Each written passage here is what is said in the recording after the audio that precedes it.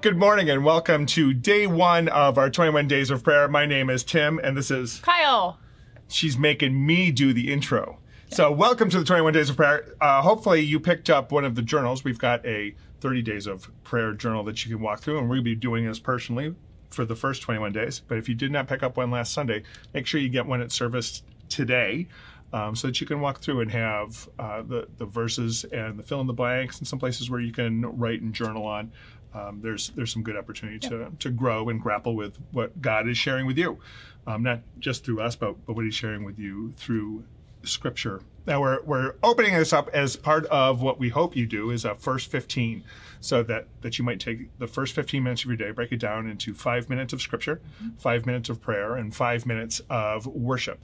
Uh, that this is a, a great way to launch your morning, and, and if you're already doing 15 minutes, maybe spread out to 30 minutes, but but but please be intentional and purposeful in investing in your relationship with with God and His Word, at least for the first 21 days, and and hopefully you'll build up a pattern that that will continue on and and move forward with that. Yeah, absolutely. And I'd say even walking through these uh, 21 days of just um, pay attention and even focus on what Jesus is. Uh, maybe asking you to give up or what he's inviting you to take up to as you walk through it. Because each day is going to look a little bit different but there's something for everyone. I feel like i learn something new every single time that we go through 21 days of prayer Definitely. And then I also encourage you to like I will encourage you to share this stuff on on social media, but but really have conversations with people that that you're not the only one that's going through this 21 days of prayer and and what God's saying to you, somebody else might need to hear that that your takeaways might be meant for somebody else. So I would encourage you that on Sunday mornings or uh, in, in in your family household and your ministry teams, where, wherever it is that you're interacting with with other believers, definitely share what you're what you're hearing, but but also with non-believers, share what you're hearing and, and how you're being impacted with with God's word. That that might just have an opportunity to to open up another conversation as well. Yep, absolutely. And I think before even jumping into some scripture too, there we're using a variety of translations. Uh, neither is better than the other. They just simply define or describe what's happening in different ways. There's um, not one better than the other. I am a fan of the NLT and NIV. I think you'll hear from like the message and ESV.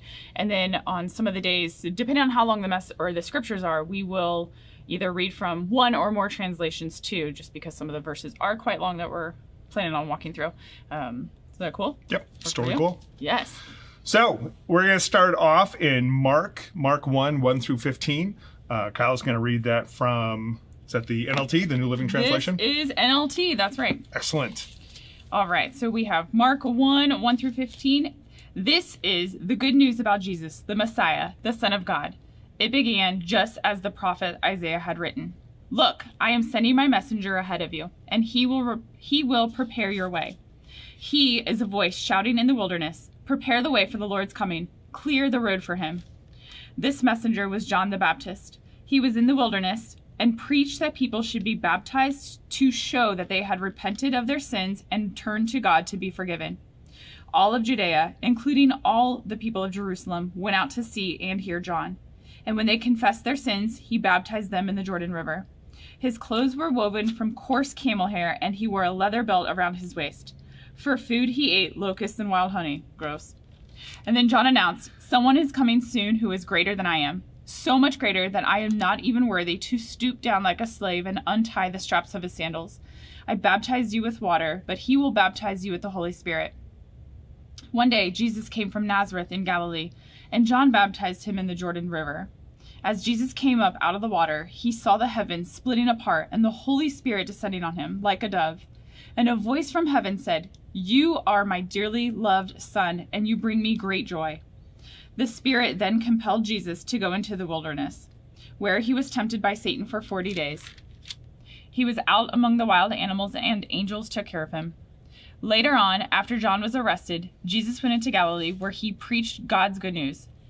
The time promised by God has come at last, he announced. The kingdom of God is near. Repent of your sins and believe the good news. Very cool verses. Yeah, absolutely. You don't like locusts? Uh, no. Have no you ever eaten a locust? I have not. I mean, wild honey might be okay, but locusts, no. For fi- I mean, it's just it's gross. My takeaways from verses tend to be the food items that they highlight because it just sounds fascinating.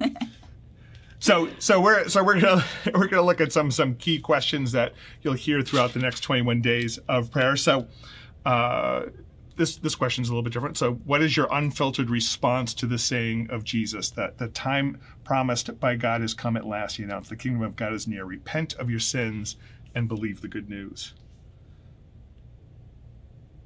Yeah, I think uh, right off the rip, like my unfiltered response um, is just looking at how Jesus says the time promised by God has come at last, and uh, it's easy for me to get focused on the like repent of your sins and believe, but there's these promises that God has been making, and He's saying like it's it, this is happening right now. That's my Here. unfiltered response. Yeah. Yeah, I'm not too far from that. That the time is fulfilled. That when I hear the word fulfill, it's like so. It's not. It's it's it's complete, but it's fulfillment. It's it's uh that it's in this place that God's like, this is what I wanted.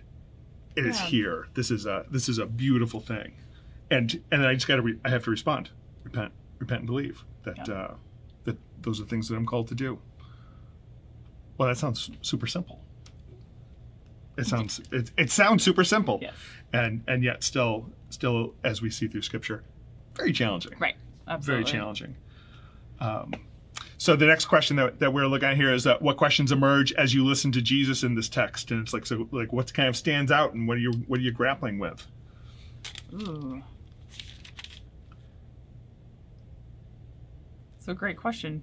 Because I think, because it's a, it's a little bit of like what Jesus is saying, right? We're looking at context of the story, but it, I guess it's uh really just honing back in on the like listening to the kingdom of God is near and repent of your sins and believe the good news. And there's, I guess my question would just be like, okay, how? Yeah. That's just the how, how to. Yep. So, so the question that's that sticks out to me is is comes from a little bit earlier in the verse where uh, the voice came from heaven. You are my beloved Yeah. son. With with you I am well pleased. It's like so I want to more know more about that. Yeah. So so what's the so what's the background that the the basis for that that I, I get a I get a little bit of it here in the beginning of Mark. But if this is the first section of scripture that you've ever read, um, that is a fascinating verse that that would make me want to to see. So what else is in these other chapters? What are what are in these other books? Um, it's uh, like a little taste of of what's Ooh. to come. Ooh. And then this last question that we're looking at is like My when you hear the word repent, what do you think of and and uh, feel? I got it. On the corner. Repent. repent. repent yeah. of your sins and believe in Jesus. Um, that's what comes to mind for the first thing of what I think and feel.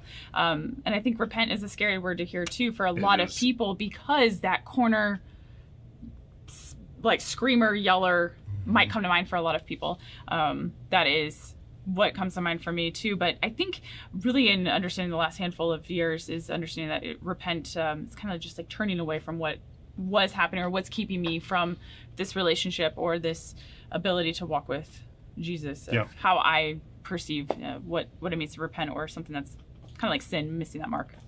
And I, I know at a base level, when I hear the word repent, the, the, the first kind of feelings that come are guilt and shame, and neither of those do I want to deal with. I would Correct. like, I would like not to have to, to to grapple with with any of those. But but as you get further down the walk and and and know Jesus better, know His Word better, you realize that oh, repentance is actually just like a form of worship. That it's that it's a, a, a healing thing. It's a, a refreshing thing. It's it's uh, that's what it's meant to be. Right.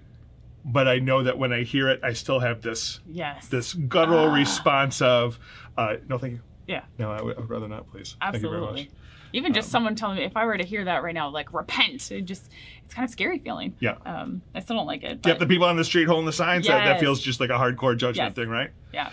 So what so what are you thinking when when you hear those verses? That that as and as you go through the the, the rest of the 21 days that the next 20 days as you're asking these questions that so when you're looking at scripture what what stands out? What stands out in in in the verses? What is it um, that is standing out that Jesus is saying?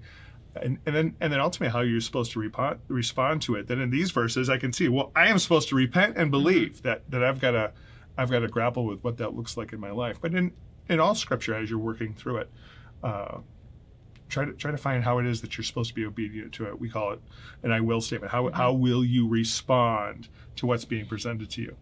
I will repent. I will repent. when when. Uh, later. Maybe the next time I drive and hit the corner.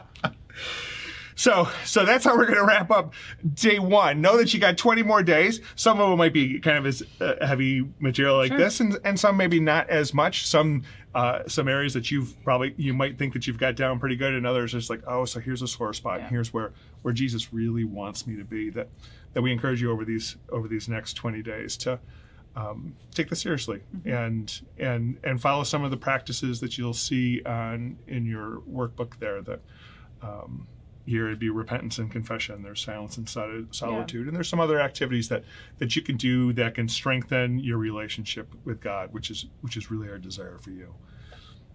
Absolutely.